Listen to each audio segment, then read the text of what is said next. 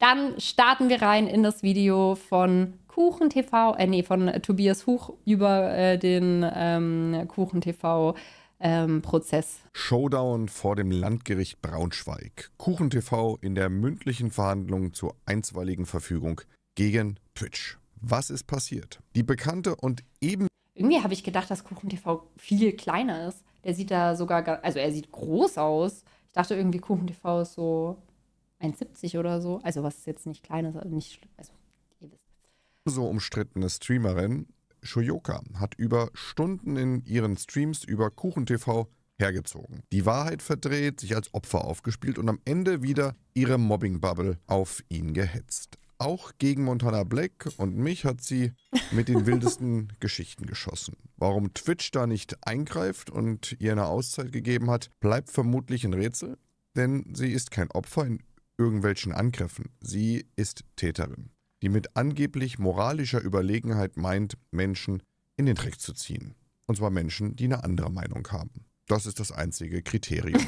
Irgendwo zwischen 1,70 und 1,90. Ja. Für Journalisten sind auf sie reingefallen, die Amadeo ja. Antonio Stiftung ist auf sie hereingefallen und am Ende ist auch Twitch auf sie hereingefallen. Vor dem Landgericht kam zumindest ein Teil der Wahrheit zur Sprache, denn die Anwälte von Twitch gaben offen zu, dass die Sperre Kuchen-TVs auf Massenmeldungen seinen Streams Anfang Dezember zurückzuführen ist. Krass. Massenmeldung, die Shoyoka mit ihren Hass-Tweets auf Twitter Mach's gut. Danke, dass du da warst. Twitter, heute X, ausgelöst hat. Fakt ist auch. Was bedeutet AMA auf Twitch? Ähm, ask me anything. Shoyoka hat es nicht ertragen, dass KuchenTV sein Recht auf Gegenschlag nutzt und ausführlich ihre hasserfüllten Streams humoristisch bei einem 7-Stunden-Stream auseinandernimmt. Es mag wehtun, wenn sich jemand wehrt und offen die Wahrheit ausspricht, mhm. aber das rechtfertigt nicht die Reaktion Shoyokas. Statt ja. reflektiert und erwachsen zu reagieren, ja, sich zum Beispiel zu entschuldigen oder um Verzeihung zu bitten und all ihre haltlosen Anschuldigungen zurückzunehmen, ging die Opfershow weiter. Wir erinnern uns.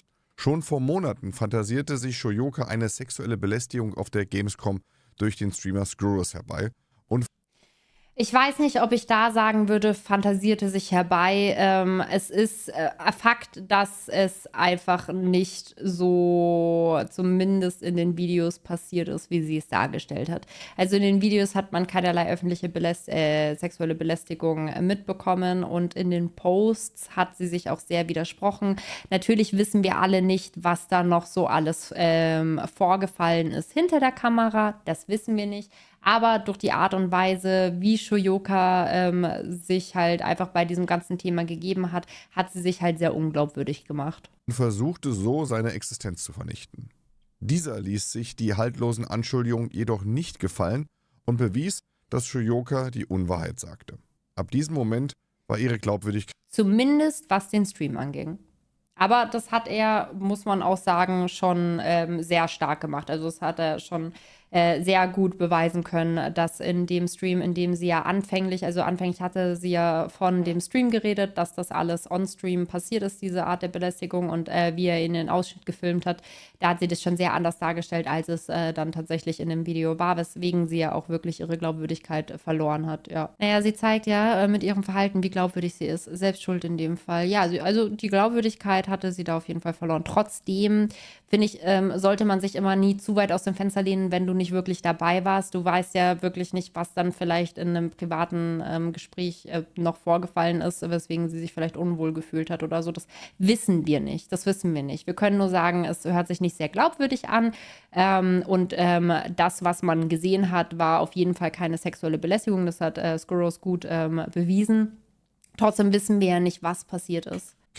Vollends zerstört. Da aber so habe ich zumindest den Eindruck, Hass und Hetze bei Shoyoka zum Geschäftsmodell zählt, feuerte sie immer dann, wenn sich der Sturm gerade so gelegt hat. Immer dann Öl in die Glut, um sich dann darüber zu beschweren, dass die bösen Flammen ihr zu nahe kommen. Jedenfalls wurde KuchenTV kurz vor Weihnachten permanent auf Twitch gebannt. Angeblich hätte er Hass in seinem Stream verbreitet. Absolut absurd. Ich selbst habe mir diesen 7-Stunden-Stream angesehen und außer ein paar Spitzen gegen Shoyoka gab. Also echt krass, wer sich äh, den 7-Stunden-Stream komplett gegeben hat.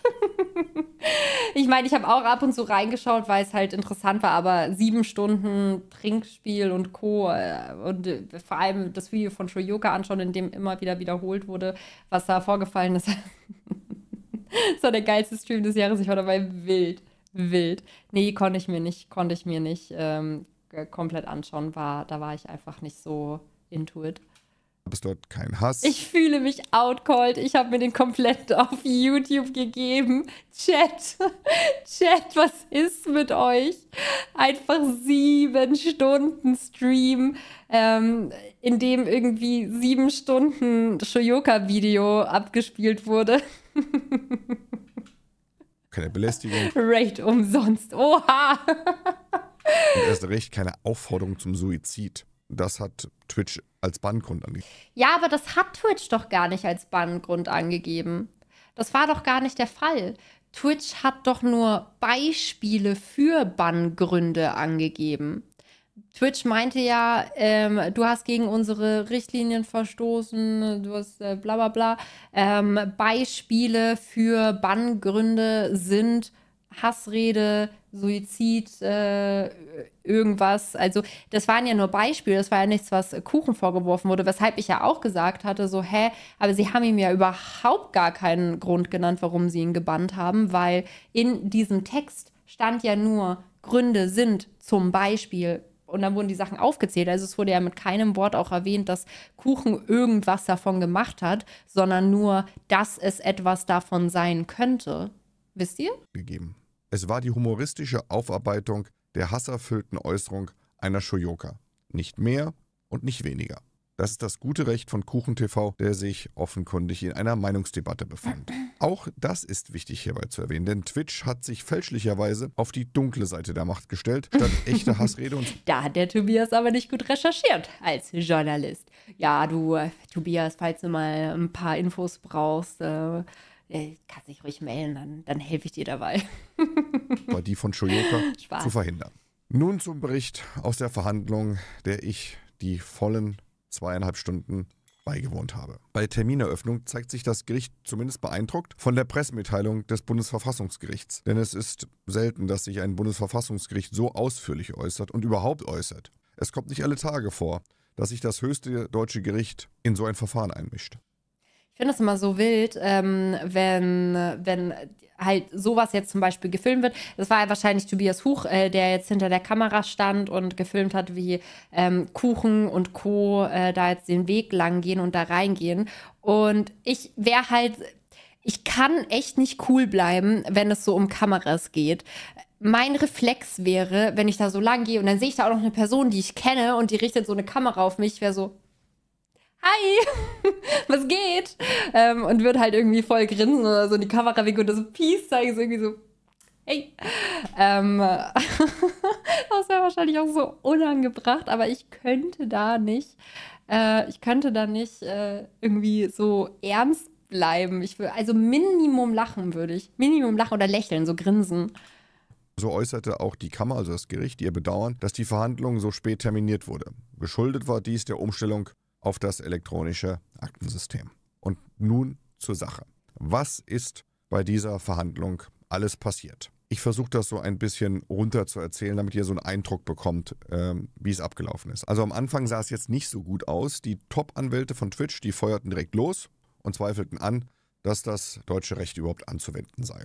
Und als das Landgericht so auch Zweifel an der deutschen Zuständigkeit hatte, dann war äh, zumindest der Anwalt von KuchenTV, Dr. Nick Sarafi, sichtlich überrascht, konnte aber darlegen, dass das Marktortprinzip zur Anwendung gelangt. Also nach meiner Einschätzung war das so ein bisschen ja so eine Rauchbombe, die die Anwälte von Twitch ge geworfen haben, die kurz irritierte, aber ja, Dr. Nick Sarafi hat sich da doch äh, sehr gut gefangen und hat passend gekontert. Der Anwalt von KuchenTV, Dr. Nick äh, Sarafi.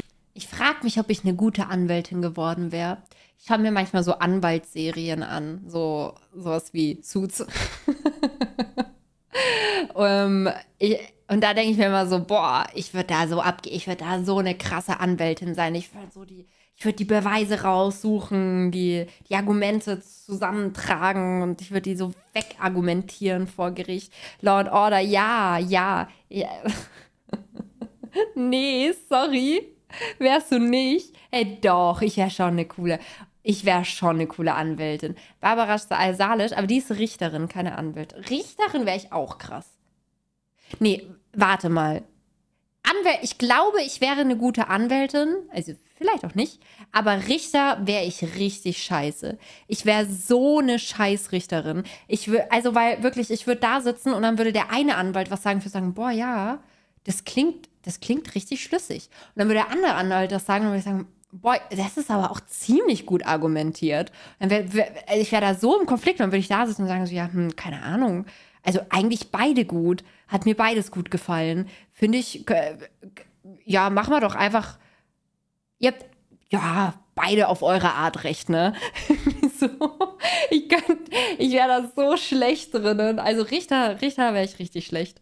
Zitierte mehrere Grundsatzentscheidungen des Bundesverfassungsgerichts in Richtung Richterbank, was augenscheinlich das Gericht zunächst Einfach auswürfeln. Nicht so es hat damit zu tun, dass Twitch meint, dass staatliche Gerichte nicht zuständig seien, weil eine Schiedsgerichtsvereinbarung getroffen worden sei. Jedenfalls sah der Vorsitzende Richter die Sache genau so anfänglich ein wenig anders, aber hier ging es vor allem um die Twitch-Klausel zur Einsetzung eines Schiedsgerichtes. Dr. Sarafi hatte ein sehr passendes Urteil parat, das belegt, dass diese Twitch-Klausel zur Schiedsgerichtsbarkeit unzulässig ist, weil sie die Klägerseite unverhältnismäßig beeinträchtigt. Echtes rechtliches Gehör wäre da kaum möglich und auch die Blockade ordentlicher Gerichtsbarkeit oder Eilgerichtsbarkeit vor allem ist nicht nur fraglich, sondern vermutlich auch komplett unzulässig. Auch als Gerichtsstand äh, die USA zu nehmen, ist einfach die nehmen, der das Schnick, Schnack, Schnuck bis drei ohne Brunnen gewinnt. Also es heißt erstens Flieflaflu und nicht Schnick, Schnack, Schnuck, aber ja, true, würde ich vielleicht auch machen. Ist mehr als fraglich, weil die Bindung ähm, an Twitch aus zwei unterschiedlichen Verträgen besteht. Das wird häufig nicht erkannt. Also geht ihr zum Beispiel zu einem Amtsgericht, dann kann ich euch vorhersagen, dass ihr in 99% der Fälle verlieren werdet. Warum? Die Gerichte sind nicht so kompetent. Und oft ist da mehr Faulheit vorhanden. Also ich selbst habe Erfahrung vor Amtsgerichten, vergesst es einfach. Streitwert über 5100 Euro und dann landet ihr beim Landgericht und dann habt ihr in den meisten Fällen kompetente Richter. Also okay. nochmal zu den Verträgen. Es gibt zwei Verträge. Das ist der normale Nutzungsvertrag als Endkunde und einfacher Streamer und der Monetarisierungsvertrag. Das sind dann die Affiliates und die Partner. Das sind zwei Paar Schuhe, die gern mal ignoriert werden. Auch die Twitch AGP hatte sich das Gericht äh, sehr genau angesehen und bezeichnete diese als Zitat, und ich zitiere jetzt mal den Vorsitzenden Richter, harter Tobak. Das Gericht ließ durchblicken, dass ähm, sie die Twitch AGB für viel zu weitgehend und in vielen Teilen gar ganz für ungültig ansehen. So wurde kritisiert, dass Twitch sich das Recht nehme, Nutzer quasi willkürlich zu bannen. Dieses Recht mhm. steht ihnen aber nicht zu. So diverse Urteile von OLGs, also Oberlandesgerichten, und des BGH, also des Bundesgerichtshofes, in ähnlich gelagerten Fällen. Das Gericht wies auch darauf hin, dass der neue Digital Service Act der Europäischen Union, der in drei Wochen in Kraft tritt, Twitch ziemlich an die Leine nehmen wird, da dann die Grundrechte eines Ach, Nutzers klar geschützt werden. Das ist aktuell nicht ganz der Fall, aber dazu noch mehr. Die ich frage mich, ob diese Thematik mit Kuchen Wellen schlagen wird. Weil Kuchen ist zumindest der einzige, den ich kenne, bei dem ich das mitbekommen habe, der da wirklich vor Gericht gegangen ist nach einem Permaban. Kann natürlich sein, dass es da noch andere gab. Das äh, habe ich nicht mitbekommen. Vielleicht könnt ihr mir das ja äh, sagen, ob es da noch jemand anderen gab. Ähm, Skurros auch. Ah, okay. Und Orange Orange auch. Ach so. Ach, heftig. Ich frage mich, ob das da noch äh, Wellen schlagen wird bei Twitch äh, Deutschland halt. Ob die da dann äh, was ändern. Alte wiesen darauf hin, dass der Digital Service Act noch nicht aktiv sei. Dies ließ das Gericht aber mit dem Hinweis auf diverse Gerichtsentscheidungen zu bestehenden Rechtsprechung nicht gelten. Zur Überraschung der Twitch-Anwälte. Nicht zu meiner Überraschung und auch nicht zur Überraschung von Dr. Sarafi. Der Prozess war eindeutig Champions League. Also auf der einen Seite krasse Twitch-Anwälte, es waren keine Amateure, Vertreter einer Großkanzlei, die nur dicke Fäche vertreten und auf der anderen Seite Dr. Nick Sarafi, der, ich muss sagen, krass geliefert hat. Interessant war aber auch, wie schon anfangs erwähnt, die Aussage der Twitch-Vertreter, dass Massenmeldungen indirekt zur Sperre geführt haben, die dann nach einer angeblichen Prüfung durchgeführt wurde, also die Sperre. Auf die Frage des Gerichts, was der Kläger, also KuchenTV, genau an Hassrede geäußert haben soll, kam von der Twitch-Seite nur die Aussage, es gab unbestritten Hassrede. Also wie ein Mantra haben die es immer wieder vorgetragen. Das Gericht reagierte mit einem, ja, ich würde sagen, leichten Grinsen und dem Ausruf, so geht's nicht. Wo ist denn das konkret? Auch Dr. Sarafi fragt äh, dann recht direkt, was genau werfen Sie ihm konkret vor? Eine Antwort mhm. blieben die Twitch-Anwälte schuldig. Sie bekräftigten wieder nur Hassrede. Gut, daraufhin schlug Dr. Sarafi, Zitat, vor, wenn ich morgen behaupte, dass der Twitch-Kollege Hassrede betreibt, ist das schon eine heftige Unterstellung. Das begründe ich dann pauschal damit, dass es mir nicht gefällt, was Sie heute hier sagen. Wenn ich das öffentlich behaupte, muss ich schon konkret benennen, warum. Da blieb der gegnerische Anwalt stumm. Trotz mehrfachem Nachbohren durch das Gericht kam von den Twitch-Anwälten nichts, gar nichts.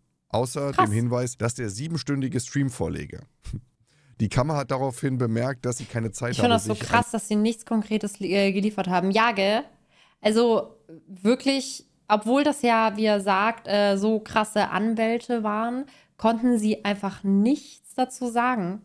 Einen langen Stream Heftig. anzusehen. Und Zeitstempel, wo dann besagte Hassrede zu finden sei, doch das Mindeste gewesen wäre, zu liefern.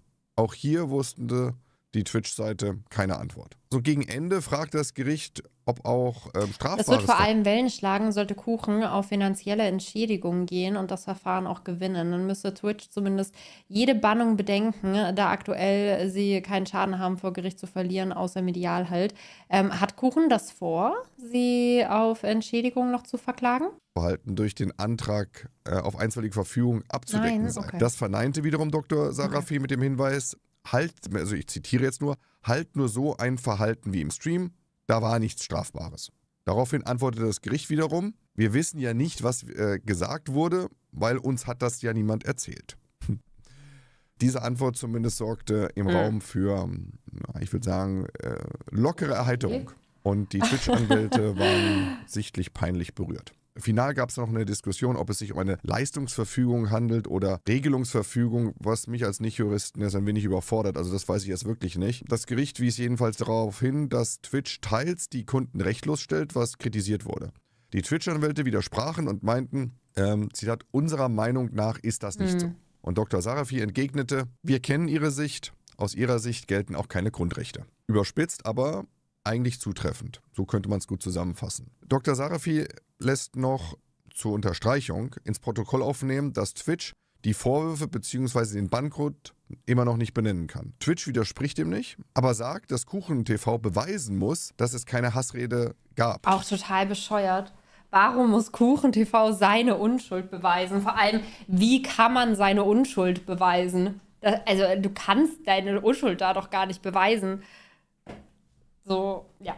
Das führt dann zu einer sichtlichen Irritierung des Gerichtes und der Vorsitzende äh, wies darauf hin, dass es sich quasi um eine außerordentliche und fristlose Kündigung nach bürgerlichem Gesetzbuch BGB handelt und Twitch somit Beweis erbringen muss, warum sie ihm kündigen. Eigentlich ist das, ich glaube, das ist Jura erstes Semester, mhm. aber man kann es ja versuchen. Dr. Sarafi wies dann darauf hin, dass auch das nicht ausreichen würde. Ist doch ganz easy. Einfach jede Aussage aus dem 7-Stunden-Stream aufschreiben und argumentieren, dass es kein Hass ist. True, true, hätte er eigentlich schon machen sollen. Hätte er machen können. Sieben Stunden Vortrag ist doch auch mal nice, oder? Vor Gericht. Ähm, denn es gibt grundlegende Vorschriften und Abläufe und auch die wurden nicht eingehalten. Und diese Vorschriften und Abläufe hat unter anderem der Bundesgerichtshof festgelegt. Und am Ende fragt er die Kammer in Richtung Twitch, ob eine Einigung möglich sei. Dies wurde dann von Twitch ja relativ schnell zurückgewiesen mit einem Nein. Daraufhin zog sich dann die Kammer zu einer Beratungspause zurück. Die war ungefähr zehn Minuten. Und nach Rückkehr wurden dann die Anträge verlesen.